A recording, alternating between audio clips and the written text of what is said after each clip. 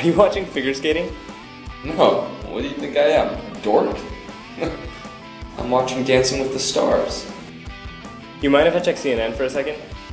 No, go ahead. By the way, I am in a great mood.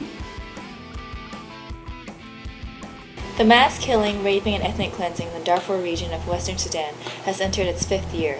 More than 200,000 civilians have been killed. An additional 2.8 million are internally displaced within Sudan, or have fled to neighboring Chad since 2003. Hundreds of villages have been burned to the ground by the government-supported Janjaweed militia. More on that story when we return. Wow, that sucks. Yeah.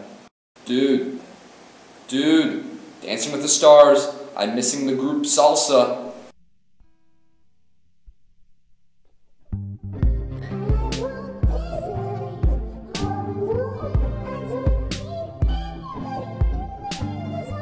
Dear Senator Kennedy, it's me again.